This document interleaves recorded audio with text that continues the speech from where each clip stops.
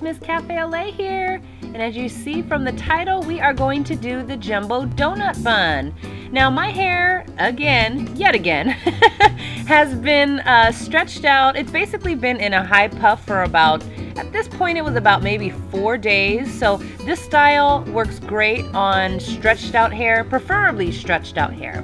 Now what I'm going to use today is a water bottle, your gel of choice, some bobby pins, a brush, of course your donut bun, and this is optional, some styling balm and some Kanekalon braiding hair. So here we go. Again, we're gonna smooth the hair up. Um, not necessarily slick, but I just kind of like a light smooth. So just go ahead and smooth your hair up.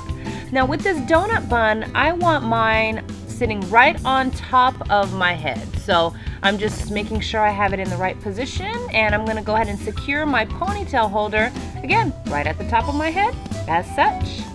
All right, so get your donut bun. Now this donut bun comes in different sizes, obviously different colors depending on your hair color. It's almost kind of like a mesh material. Normally that's, you know, suicide for us natural hair girls, but it almost works out great in this case. I'm going to show you in a moment.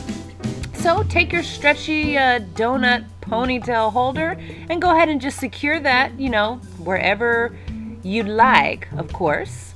See, mine's at the top of my head as such.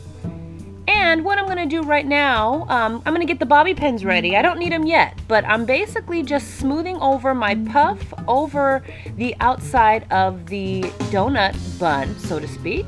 And I'm just taking the ends of my hair and just tucking it underneath the bun. Now, as I mentioned, since it's kind of like a mesh material, uh, my hair, it grasps my hair perfectly. Um, you know, some people love that, some people hate it. In this case, it doesn't mind. It's very, very secure, even without bobby pins. Now, I want to show you the back because I am bringing out my bobby pins for this. Um, now, the back, since it's such a high bun, um, you know, I want to make sure that the back is secured as well. So I'm taking, again, the ends of my hair, tucking it under the bun itself, and just adding an extra few bobby pins um, just to make sure everything is uh, a-okay.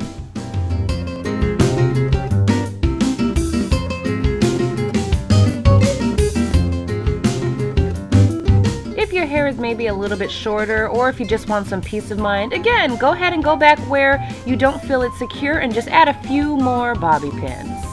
Now this part is optional. Again, my hair is naturally curly, so I'm taking this uh, Main Element Love Styling Balm and just smoothing that on my edges, excuse me.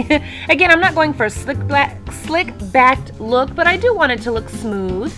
So basically, we are done with round one, but wait!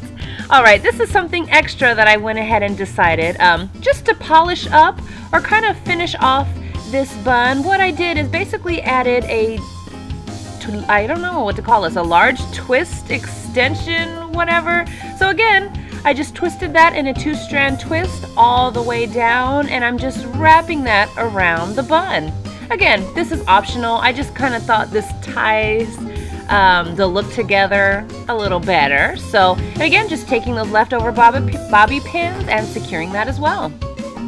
And once you feel that that hair is secure, we are finally done.